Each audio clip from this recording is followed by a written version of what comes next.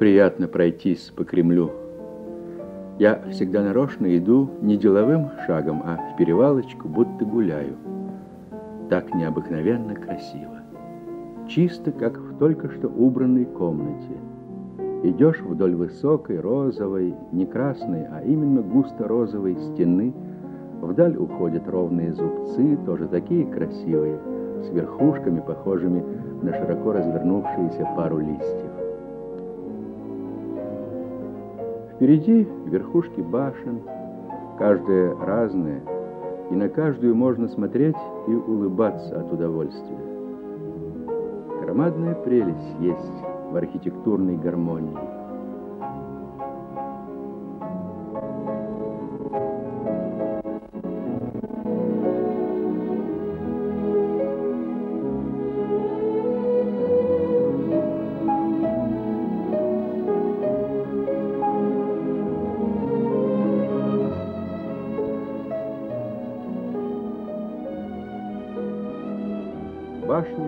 Покрыты украшениями. Все они видны, так же великолепны, как и общий контур, отчетливый на фоне чистого неба. День сегодня прекрасный. Ведь всего этого не замечаешь, когда смотришь на Кремль издали, и когда между ним и тобою юрзают автомобили, а здесь тишина.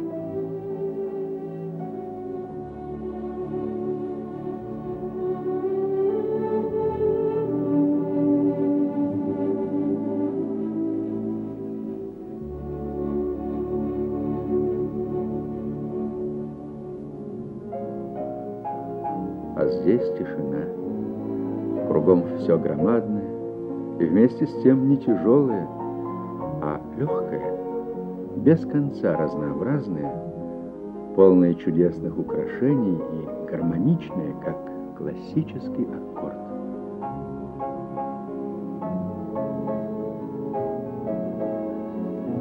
И еще без чего не обойдешься. Обязательно возникает и захватывает это чувство Кремля, как центра какой-то собранной и покойной громадной силы, связанной с силой времени, с силой гигантской страны, силой организованной массовой воли, силой убеждения, превращающей надежду в уверенность.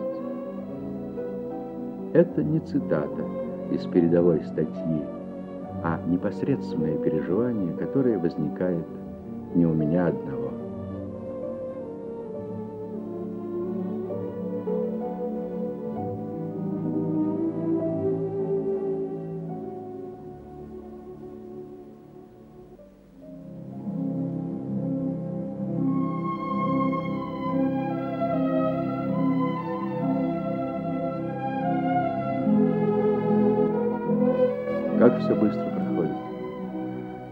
Счетчик такси перескочил на следующую цифру, и приходится заглядывать в бумажник, сколько там еще осталось. Уж очень хочется, чтобы было побольше ехать, ни о чем не думая. Ужасная у меня жадность до жизни. Вчера вечером поздно, перед сном, вышел в парк, сел на деревянный диван, вытянул ноги, задрал голову, положил на спинку – Прямо перед глазами, в страшной глубине, знаю, что 300 тысяч километров нужно повторить миллионы раз, чтобы добраться звезда. Стоит на месте, сияет. На самом деле летит с бешеной скоростью уже миллионы лет и будет лететь еще миллионы. Куда и как? И вот знакомое чувство начинает потихоньку оживать внутри такое удивительное такое похожее на радость. Как здорово! Миллионы и миллиарды, а я живу всего 60 лет, и сижу и вбираю в себя это, и глубоко ощущаю себя участником всего этого неизмеримого великолепия. Говорят, что младенцы тянутся рукой к луне, жадно желая ее схватить. Это считается проявлением величайшей наивности, отсутствием развитого разума, который впоследствии направит руку к ложке, а ложку к каше, и все будет правильно и хорошо. К черту это в высшей степени разумное рассуждение. Верю младенцам. Верю в великолепное утверждение права не только тянуться к луне, но и утверждать неизбежность обладания ею. Да что луна? Она рядом. А ведь я слышу дыхание тех самых миллионов и миллиардов, и к ним можно тянуться.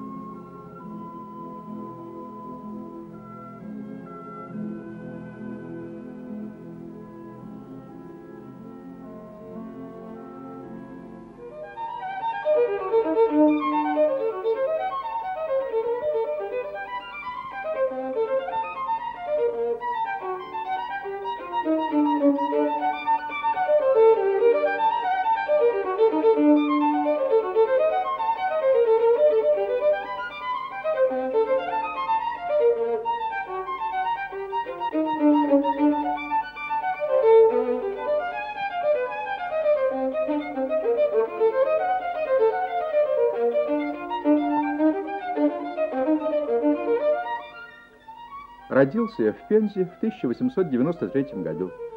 Четырех лет был перевезен в Москву, где отец поступил приказчиком в инструментальный магазин Робер Кенц. В ранней юности я отличался тем, что принято называть разнообразностью.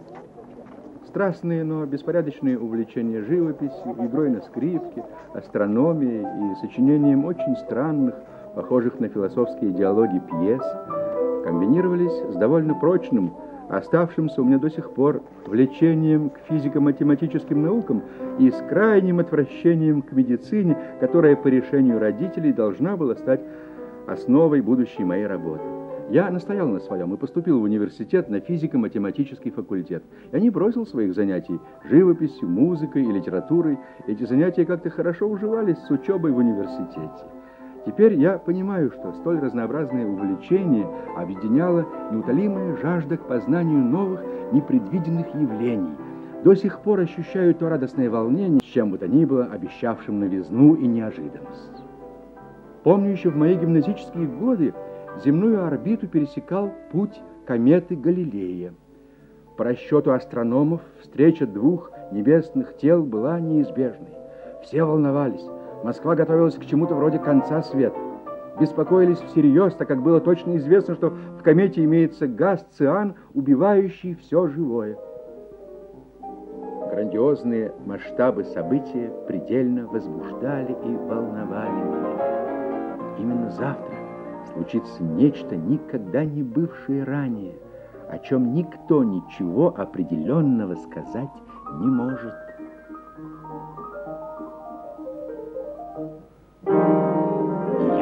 Свидетелем.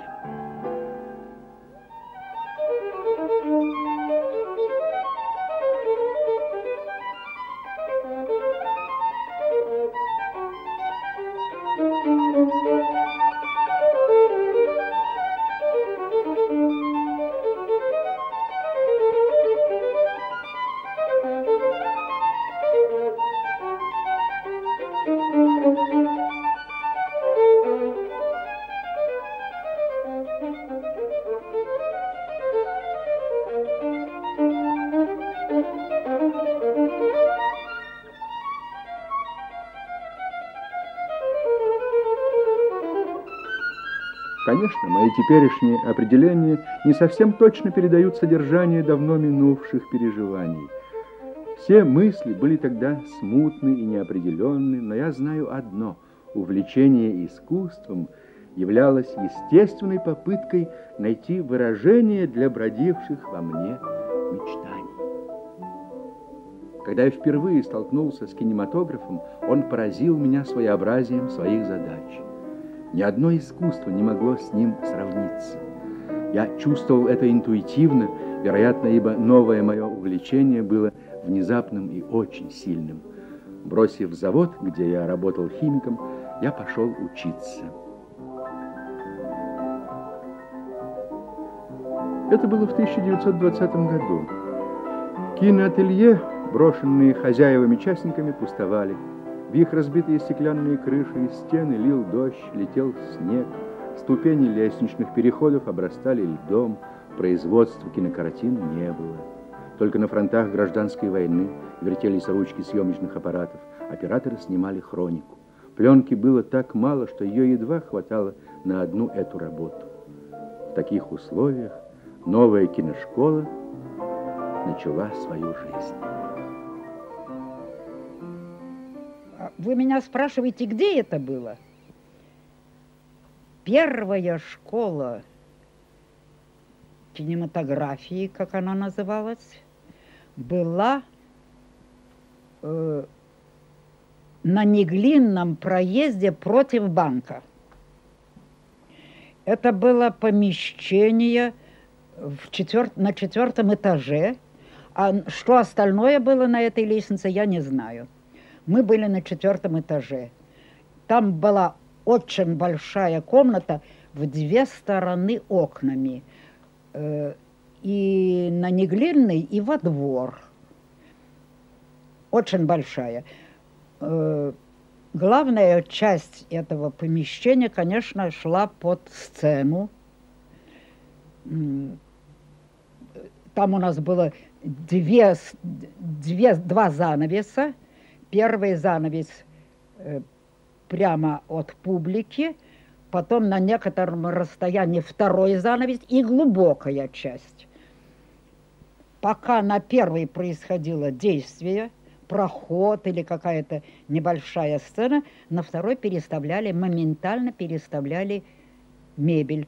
Причем мебель переставляли и те, которые играли, чтобы не мешать на сцене лишним людям, и те, которые помогали. Это все делалось без всякого перерыва. Занавес сходился и расходился. Сходился и расходился. И в это время там ставили два-три стула или стол или еще что-нибудь, а более такие оформленные декорации были в глубине. Свою мастерскую в киношколе Кулешов называл лабораторией. В ней учились Пудовкин, Барнет, Галаджев, Огель, Подобед, Комаров, Оболенский. У нас не было ни метра пленки. Из-за этого нам пришлось заниматься платоническими пробами снимать наши этюды на фото.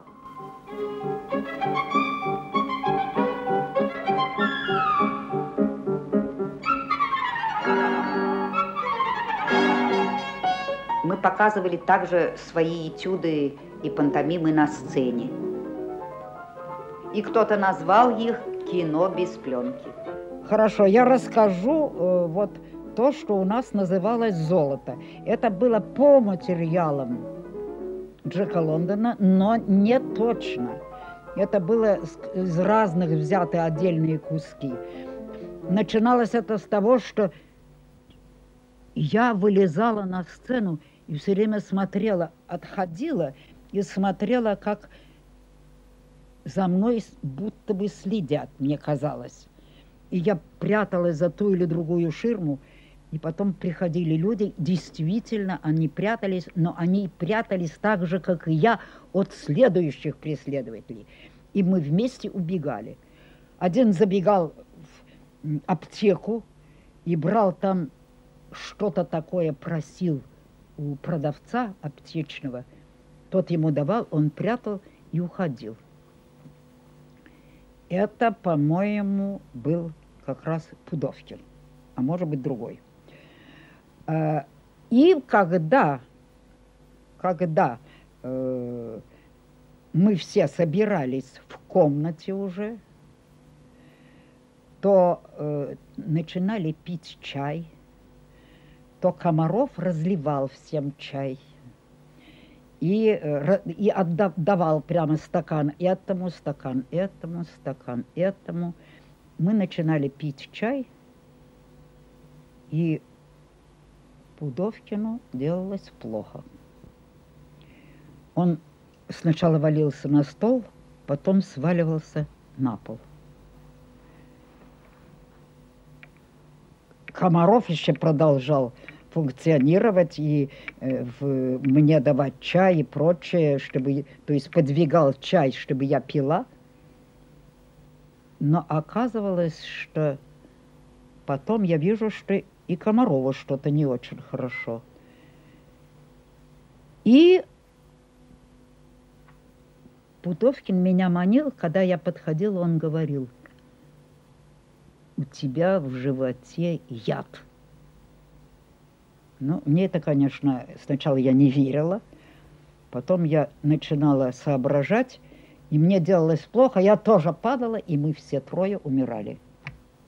Вот такой. Но это было продолжительное действие, потому что контакт и проявление каждой личности брало время, так что это было, это было довольно длинный этюд. Показывалось это за деньги, которые шли на буфет студентов.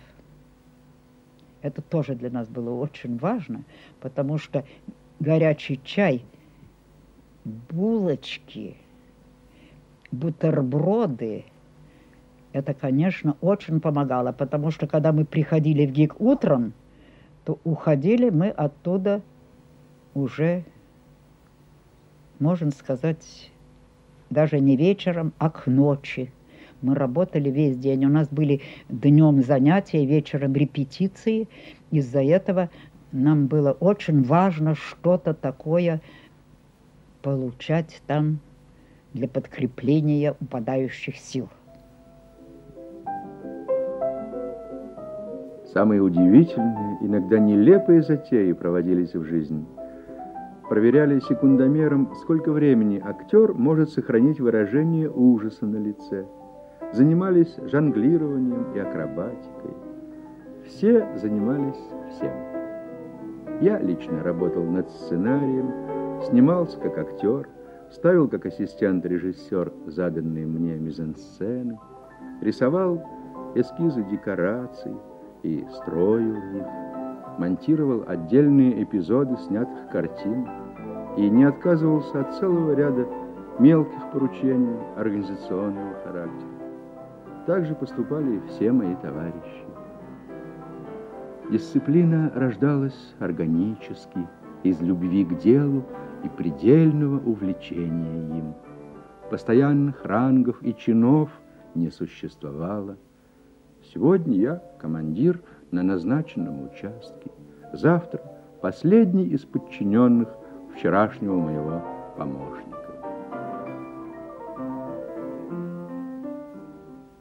Мы с Пудовкиным все этюды старались делать вместе, потому что мы, видите что, вероятно, это от того, что наша техника того момента – и наши э, возможности требований к себе были одинаковы.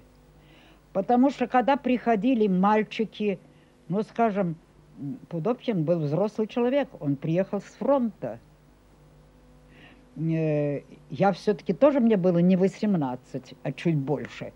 Значит, а были там такие 16 лет, 17 лет, э, и те, которые шли на актерское, э, у них интересы, вы знаете даже что?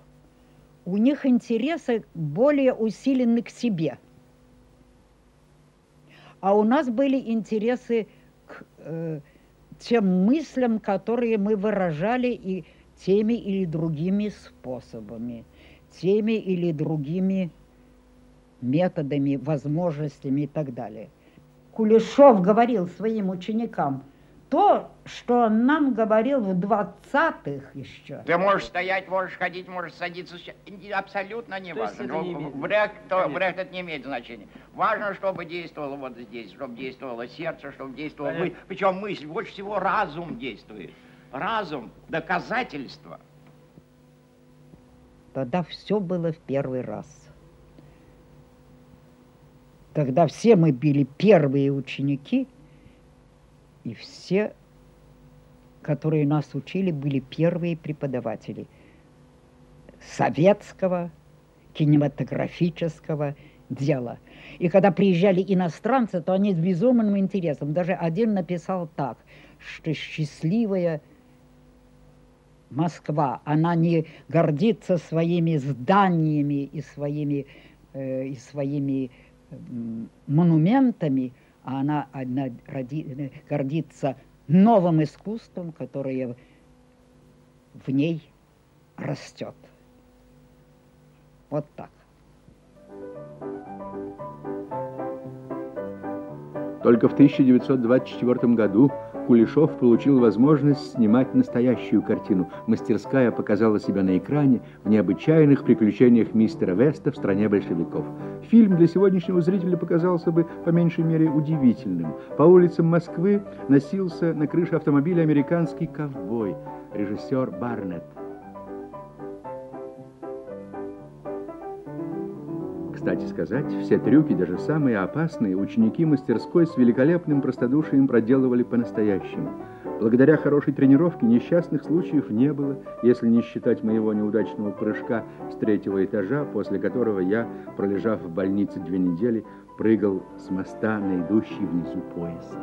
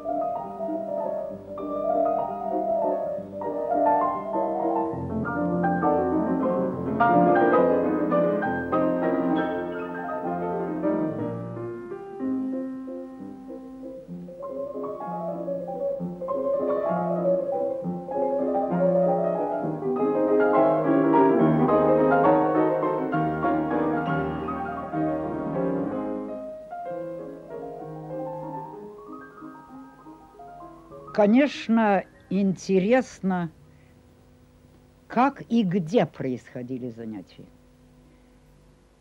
Занятия происходили в открывшемся в ГИКе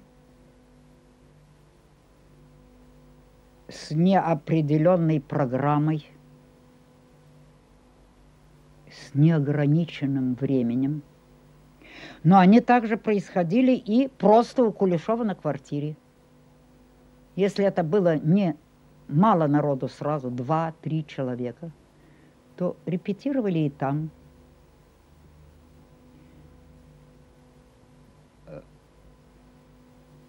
Это было недалеко от ВГИКа. Вообще, я не помню, чтобы мы ездили. Мы всегда ходили во ВГИК. Может быть, потому что и транспорта не было, может быть, потому что это было близко – но происходило хождение в ГИК. Заходили за друг другом, это бывало, да. И опять-таки шли туда.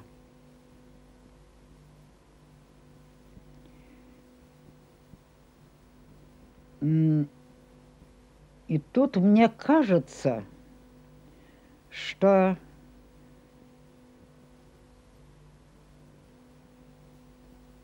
даже как-то это выходило иногда на улицы Москвы.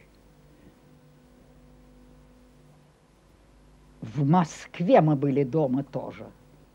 Вот так.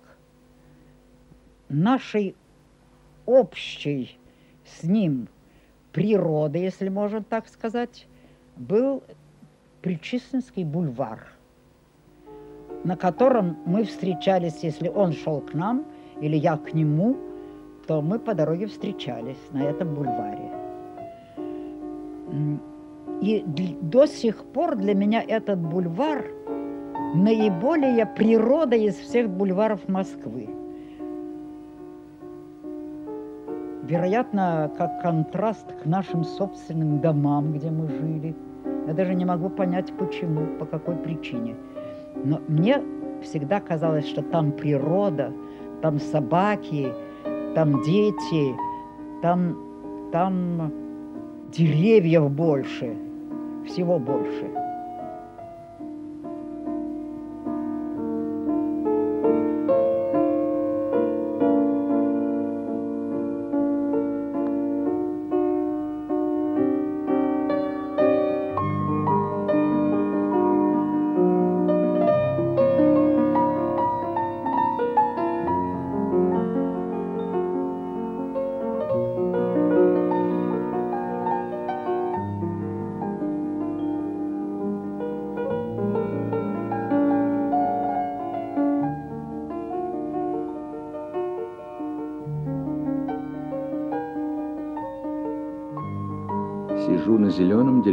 Диванчике посреди совершенно пустой аллеи.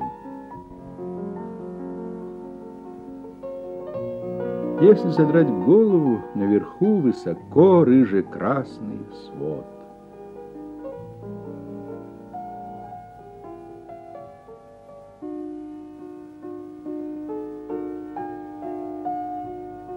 Листьев кругом так много, что шум их похож на шум большого водопада. Можно закрыть глаза, совершенно ни о чем не думать, то есть не думать обычных, всегда немного деловых вещей, а только чувствовать себя родственником деревьев и принимать на себя ветер так же, как и они. Честное слово, это иногда так прекрасно, что внутри начинает дрожать радостный живчик, вроде как в детстве. Серьезной работы еще нет. Осматриваем Одессу, окрестные места, устраиваем жилье и разрабатываем планы съемок. Но, видимо, с завтрашнего дня начнется настоящее дело. Я не боюсь, я люблю экспедиционную работу как раз за то, что она заполняет все время целиком. Никто меня не теребит, ни статей, ни заседаний. Я действительно могу полностью жить картиной и всем, что связано с ней, как в сущности должно быть всегда.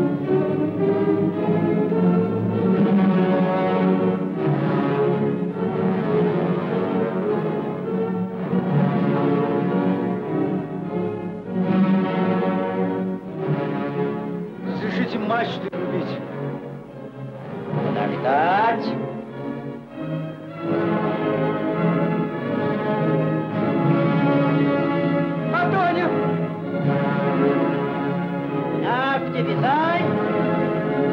Прикажите ставить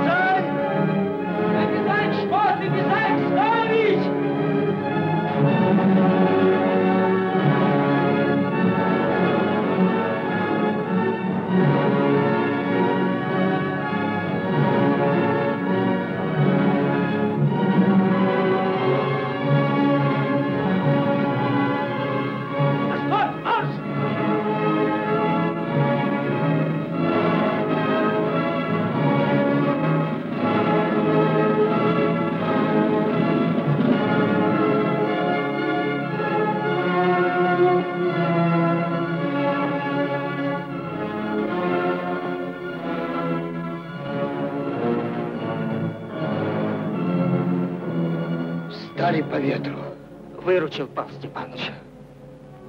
Ну? Ты что нами глаза пялишь, деревня? Ты вон на кого смотри.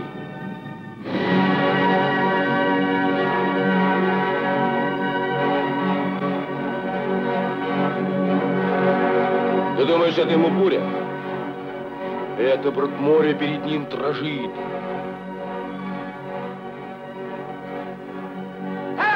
Так,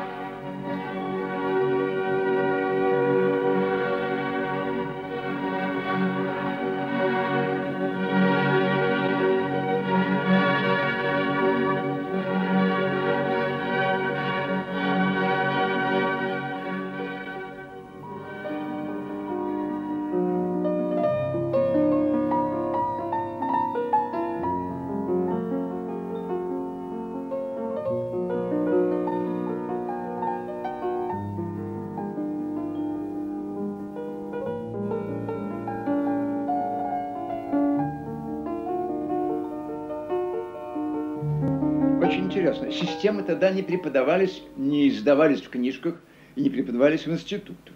Системы отстоялись значительно позже. Системы тогда рождались.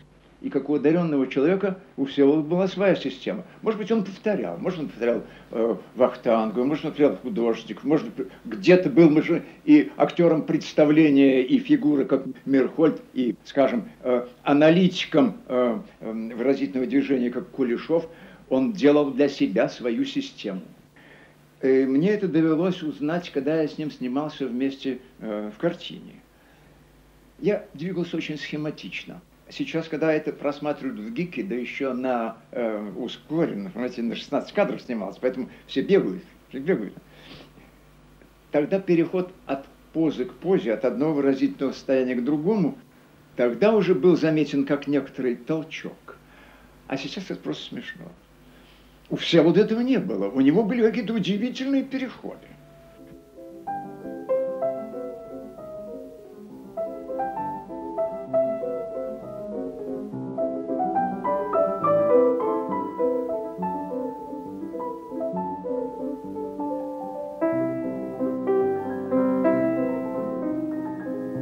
Какие-то удивительные переходы.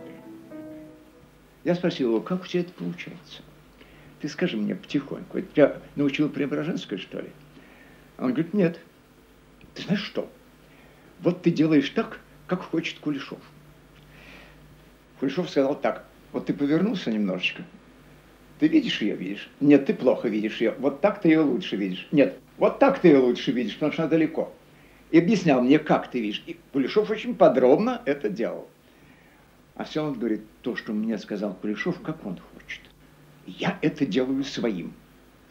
Я долго хожу и некоторое время спорю с ним. Потом где-то соглашаюсь, потом говорю, а, не надо. Я сам хочу ее увидать.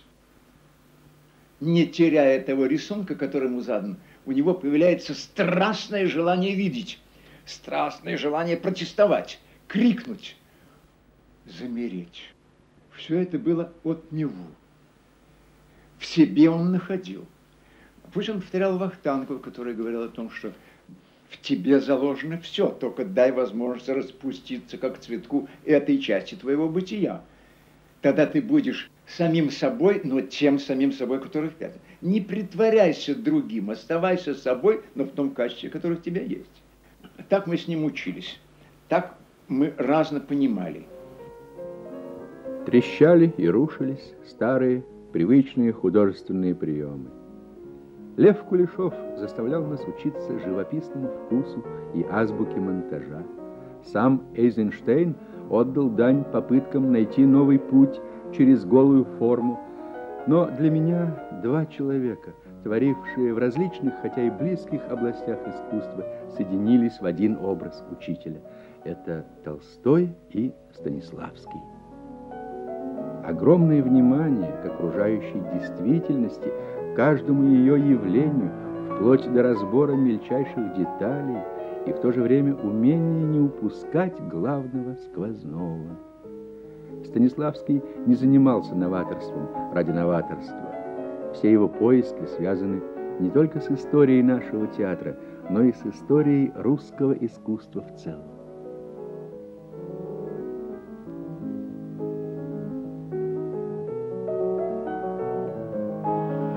Первые наши шаги.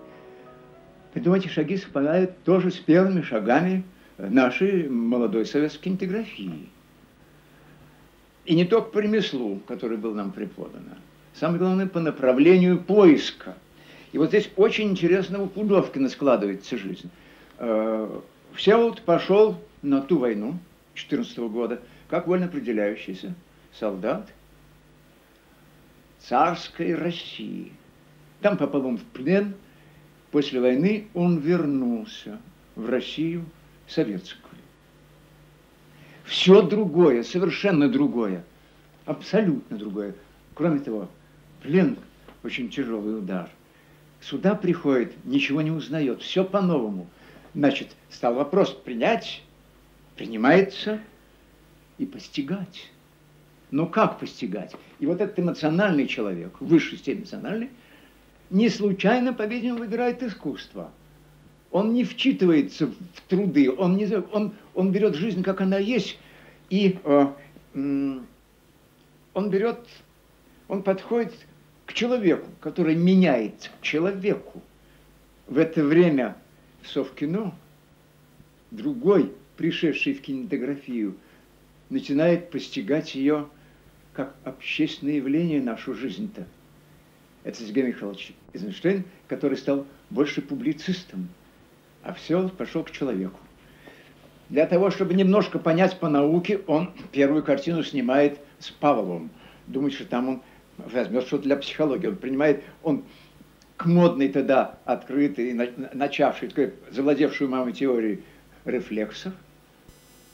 И затем сразу мать Ниловна, Ниловна, которая ничего не понимала, чем занимается Пашка, сын ее, и постигла – После Нилны Пудовкин делает, после матери, он делает конец Санкт-Петербурга с Иваном Чуелевым. Приходит деревенский парень в Петербург, и там такой. Парень выбирает Красную Армию. И, наконец, Пудовкин для себя делает революцию, он устраивает э, потом у Чингисхана. И за границей она называлась штурм Азию. Ураган над Азией. Это ураганная революция.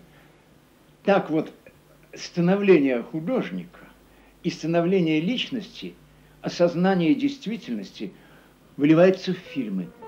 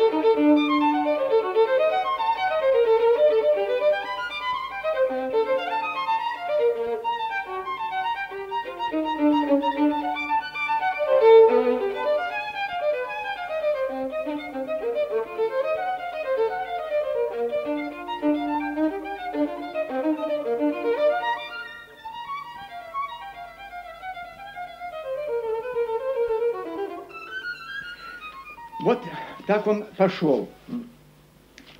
А, а мечтал он о Бетховене. Хотел он сняться в Бетховене. Забавно, что этот человек, не бывший пианистом и не изучавший фортепианной техники, разучил начало лунной сонаты. Играл его весьма вдохновенно. И однажды я спросил, Всеволод, зачем это тебе? И как всегда так, вроде как между прочим, но очень от души было сказано, ты понимаешь, вот он, он, Людвиг ван Бетховен, вот тему, как шел аккомпанемент, он его все время, а здесь шла тема, и я ставлю пальцы так, как он ставил – а ты знаешь, я вместе с этим начинаю так же чувствовать. Ты попробуй. Ты послушай музыку. Это одно. А ты попробуй ее исполнять. Знаете, это очень хорошо потом сказал Эйнштейн. Баха можно слушать и исполнять, а но нельзя говорить. Совершенно верно. И вот поэтому Бетховен э, у, у, у Всеволода, у Пудовкина, э, стал какой-то неотъемлемой частью своего творческого хода к вещи. Надо взять, сделать своим, побыть, погрузить туда пальцы. А нас он научил этим, научил чуткому слуху и пристальному глазу. И когда мы были рядом с Пудовкиным, э, нам казалось, и мы можем. Вот если так, то сможем. Вот все вот вселял невероятнейший оптимизм. Это не был просто забавный э, парень, который приходил в любую компанию и делался центром внимания. Нет, следом за ним хотелось идти. Э, радость его понимания, ну это очень хорошо у Гегеля, что это начало эстетического чувства. Это особая форма радости от приятия, от возможности творить. Все вот это зажигал. Вот это у него э, э, с Бетховеном.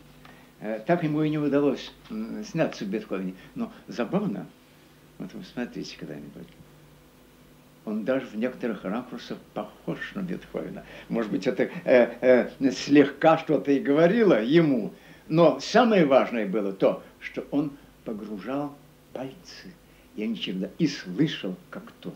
И говорил, вот, Леонид, вот так учись, вот тогда ты будешь лучше понимать и глубже. И до сих Хорошие были школы, и одна, и другая, и хорошая была практика. Но какие-то заветы Всеволода Ларионовича для меня и сегодня сделай своим. Хочешь понять, пройди вместе с ним. Режиссер встреч мне сейчас пишет, спасибо вам за те дни, которые мы вместе прожили в фильме. Знаете, я снялся в фильме сейчас у встречи «Чужие страсти». Так вот, вместе прожили – этому вместе прожить заразительно, заражающе учил Пудовкин. Вот такого собеседника, друга, коллеги очень не хватает всегда. А память о нем всегда очень свежая и очень яркая. Он помогает жить. Это воспоминание.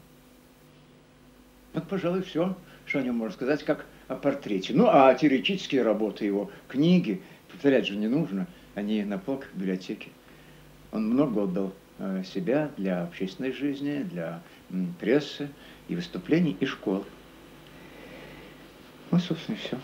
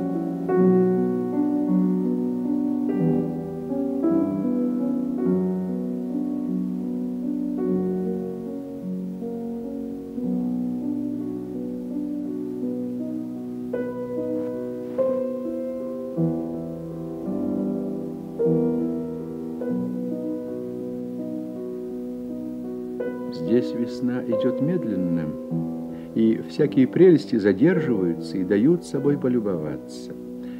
Сначала целиком просвечивающий молодой березовый лес, весь нежно-фиолетовый, с тонкими белыми полосками стволов. Потом появилась зеленая дымка из крошечных листочков. Из нежнейших зеленых облаков торчат острыми пирамидами темные, почти черные ели. Это если вблизи, а вдали, за полями, на горизонте лес широкой полосой так и тает к небу переходами синего цвета. Когда нет ветра, кругом все свистит, заливается. Особенно стараются жаворонки. К вечеру соловьи. На съемке приходится задерживаться до сумерек. Уйдешь от группы, ходишь по полосе, только что вылезшей из влажной земли травы между вспаханными полями. Тихо так, что начинаешь улыбаться, и на сердце становится прохладно. Такой чудесный, неописуемый, чуть-чуть горький запах травы и покойно лежащей земли. Где-то недалеко начинает кукушка, замолчит другая, очень далекая, становится слышной, как эхо. Та самая как будто печаль, а на самом деле глубоко внутри упорная радость. Как в ранней молодости, непонятно почему, веришь в верность ожидания чего-то совершенно неопределенного, но прекрасного и такого, что непреклонно сбудется. Вот этому я ужасно рад, что хоть иногда это все же приходит.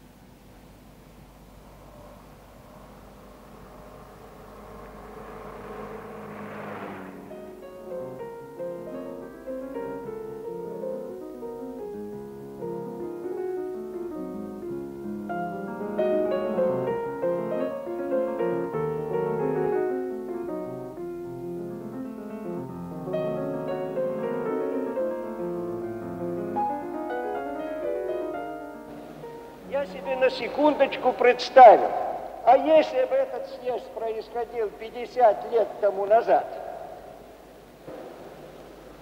кто бы сидел в президиуме? Давайте считать. 26-летний Эйзенштейн, 32-летний Пудовкин и мальчишки вроде Козинцева и Трауберга, я не помню, было ли им уже 20 лет или не было. Васильевы, не старше меня. Я уже не говорю про оператора. Я бы сидел тоже где-нибудь, может быть, в стороне, потому что в это время я уже успел снять мать. Кирпичики, механику и прочее. И было мне 26 лет, и юридически был я студентом второго курса ГТК. Мне очень повезло.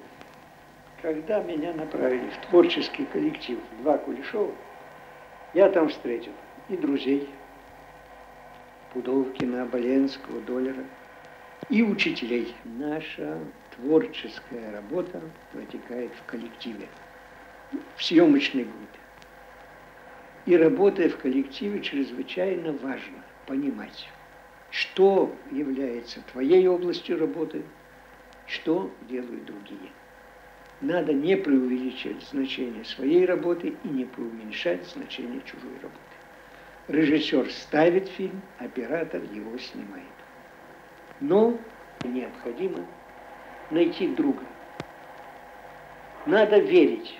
Оператор должен верить режиссеру, режиссер должен верить оператору. Я не знаю точно, чем я приглянулся Пудовкину. Потом он мне говорил, что его заинтересовал молодой человек, который шесть часов подряд стоял в болоте и держал руку руками. И, очевидно, это впечатление и повлекло за собой то, что мы с ним проработали все последующие фильмы. В картине «Живой труп», где в главной роли снимался Пудовкин. Я снимал эту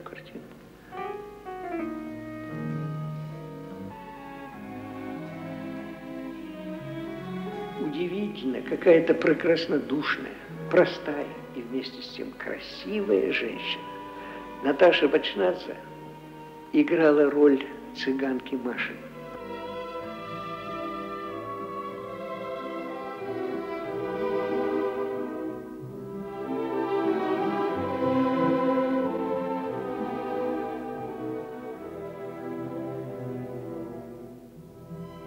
Я всегда люблю поэзию. Мне всегда казалось, что стихи – это лучшие мысли в лучших словах. И вот однажды в Ленинграде на Литейном, на книжном развале, мне попалась маленькая книжечка без переплета. Называлась она «Брага», автор Николай Тихонов. И когда я раскрыл страницы баллады о Перекопе, то я понял, что я нашел своего поэта, своего властителя дум. Я помню наизусть строки. И мертвые, прежде чем упасть, сделали шаг вперед. Ни гранате, ни пули сегодня власти, не нам помирать черед. Конечно, личный жизненный опыт имеет огромное значение и в кинематографе. Вот, например, военные сцены в конце Санкт-Петербурга. Я, бывший окопный солдат, внес туда то, что видел и ощущал сам. Эту холодную жижу, глинистую жижу. В сентябрь, октябрь, ноябрь месяц где-то под Винском. Для Пудовкина поле. На Мазурских болотах поле, усеянное трупами русских солдат и он среди них. И поэтому я строил окопы вместе с художником. Пудовкин строил композиции поле-поле. И мне кажется, что нам вот это вот ощущение фронта удалось передать.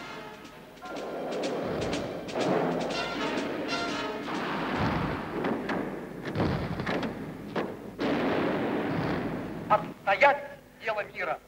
Такова воля всего прогрессивного человечества. Это воля народов, взявших дело сохранения мира в свои руки. Эта воля непреклонна. Эта воля неодолима.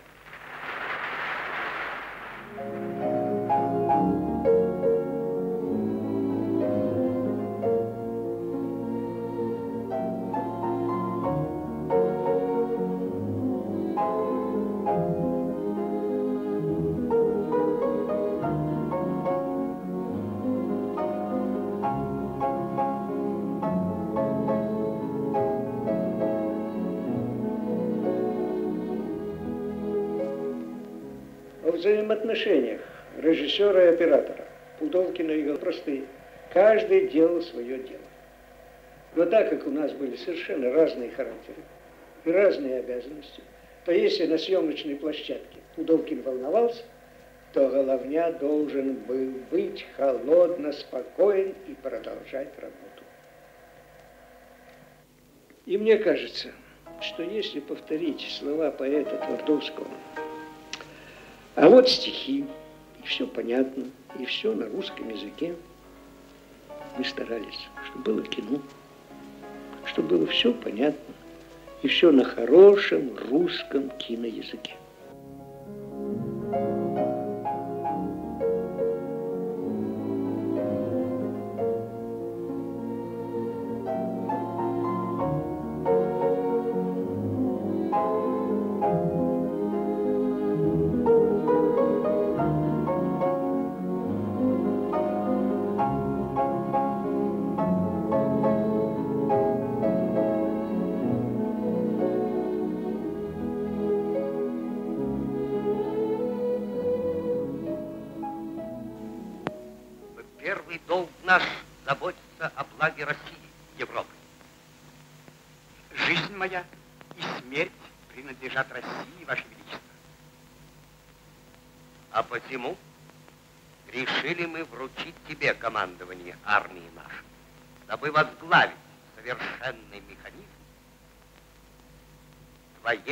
Твоею военную славой.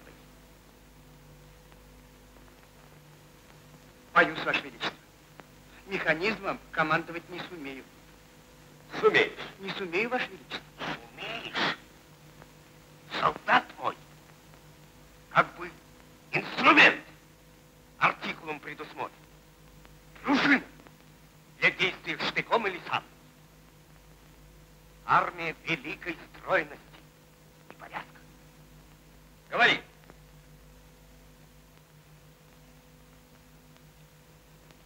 Механизм. Пружина.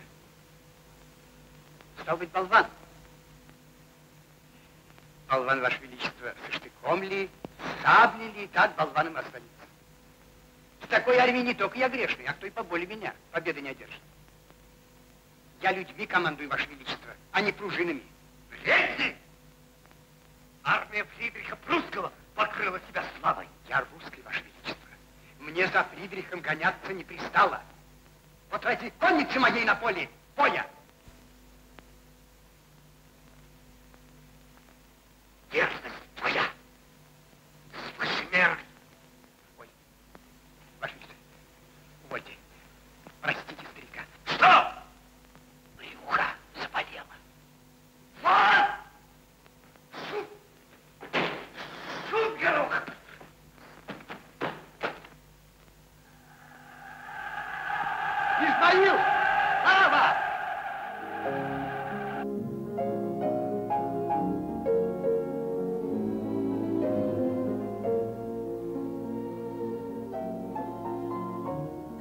Очень живой, колокочущий, в спорах, так сказать, яростный. И в бесконечных диспутах того времени он действительно выглядел э, человеком бурлящим, так сказать, размахивающим кулаками, бегающим по эстраде. И это чрезвычайно привлекало всех к нему. Он был человек одержимый, очень страстный. И мне думается, что его это бы недостаточно оценил наш кинематограф. Его недостаточно оценили как актера. Он мог бы сыграть множество превосходнейших ролей, прекраснейших ролей. Но считалось, что он настолько режиссер и настолько знаменитый классический режиссер, что его приглашать на роли как-то даже неудобно. А между тем, он мог быть, он бы мог бы сыграть много превосходных ролей. Это мое глубочайшее вещание. Околдован царь! Роднёю царительной заворожен, Клинскими Захаринами околдован! Околдован! На родню царицыну челом бьем! На Глинских Захариных управы просим! Из людей сердца вынимают людскою кровью дома пропят. Из той крови огонь зарождается. Появился такой роман, э, появилась, во-первых, такая писательница э, Николаева. И появился роман ее «Жатва» Галина Николаева. роман ее «Жатва». И было, значит, решено экранизировать эту «Жатву». Она имела очень большой успех. Это уже после войны. И, значит, она э, было решено экранизировать. И Пудовкина было предложено ее экранизировать. И Пудовкин э, по непонятным мне до сих пор причинам почему-то предложил, чтобы сценаристам, вернее, одним из сценаристов, потому что Николаева сама должна была быть сценаристом, да и он, в общем, принимал в этом участие, должен был быть я. Ну, и вот, значит, тогда э, это был период наибольшей моей, наибольшего моего знакомства Пудовкиной с его семьей – как и теперь, значит, сценарий обычно пишут, значит, в домах творчества. Мы отправились туда, и как только мы впервые встретились, значит, уже за рабочим столом, выяснилась полная несовместимость, значит, Пудовкина с Николаевым. Оба были категоричны, оба считали себя абсолютно правыми во всех, во всем том, что вызывало споры – и настаивали на своем. Это доходило до ярости, до страш... огромных вспышек и до ссор. Они ссорились, мирились, целовались, снова садились за стол, снова, значит, пытались сделать сцену, опять ссорились. И среди всего этого, значит, шума и бурь сидел я, несчастный сценарист, который, значит, должен был уловить что-нибудь, что, казалось бы, должно было их примирить и, значит, что-то написать. И, в общем, этим и кончались споры. Каждый день все кончалось тем, что они, э, значит, в общем, э, значит, яростно поспорив и ни с чем друг с другом не согласившись, они, э, значит, говорили мне, ну, запишите, запишите, значит, все, о чем мы говорили.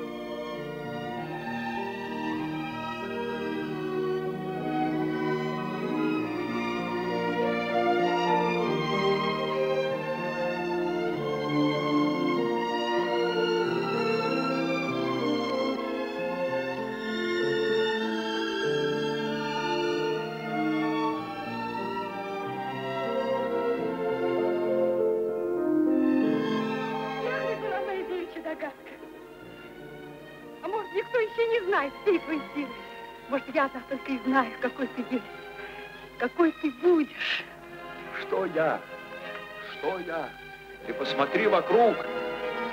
Ух, ширина-то какая!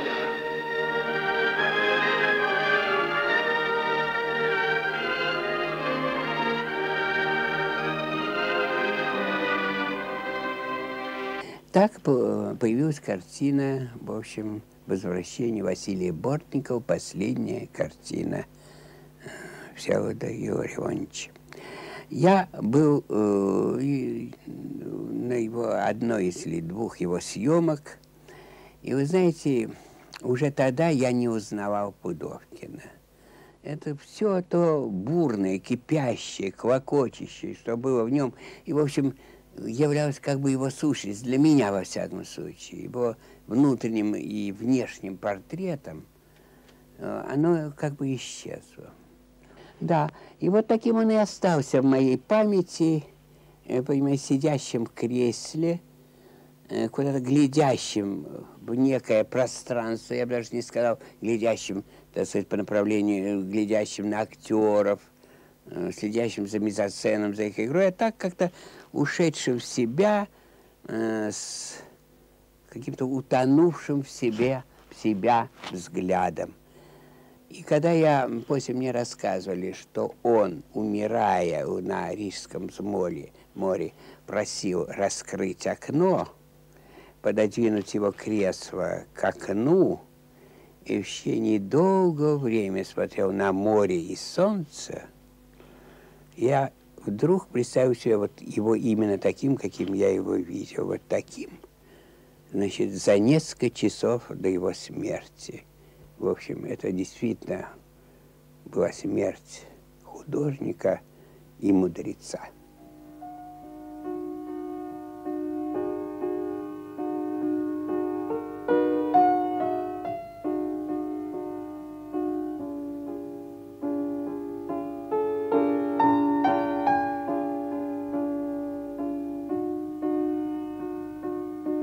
Самое прекрасное, что я знаю из своих переживаний, это ощущение полной, непосредственной близости себя к окружающему миру. Честное слово, я помню, как я замирал от счастья, смотря на деревья весенним вечером, от глубокого и отчетливого ощущения родства с ними.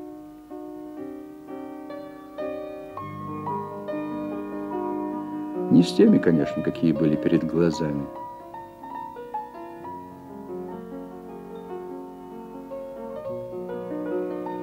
а со всеми, какие есть на земле. Дорогими моими предками, миллионами лет вдыхавшими солнечный свет и выдыхавшими оживленный воздух. Полное, широкое, все растущее чувство жизни.